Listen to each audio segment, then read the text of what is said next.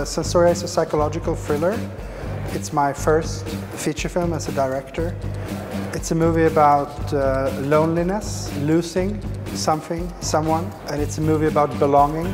So it's a movie about all these universal themes that I placed in, in, in a psychological thriller with a supernatural theme. Uh, me and my uh, writing partner, we had a couple of uh, scripts in English that we tried to get made. But always in the end, it came up, you know, you haven't directed a movie, so the last part of the financing never happened. So two years ago, me and my writing partner sat down and we said, you know, let's write something in Swedish, first of all. Uh, let's write something that we could produce ourselves. Uh, the biggest challenge in casting was for the girl, of course. We met 20 children between the uh, girls between the age of 7 and uh, 10. Also the main part, Lana Olsson, who plays the lead.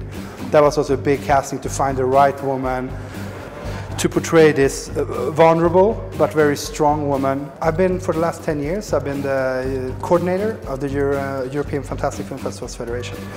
And that's a network of some of the most prominent genre film festivals in the world. They decided to cooperate and work together and that was the start of the federation that we have today. Sharing information, sharing guests, uh, you know, exchanging information basically, that's how it started.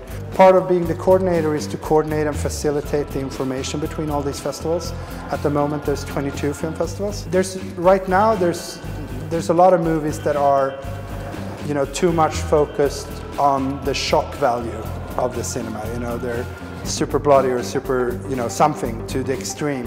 I hope that cinema will go back a little bit and focus more on the story, you know, even genre movie, because I think if you have strong, everything needs to have strong characters and strong story around it, and then you can put the story, you know, around that. It doesn't always have to be the bloodiest or the most extreme or, or, or whatever.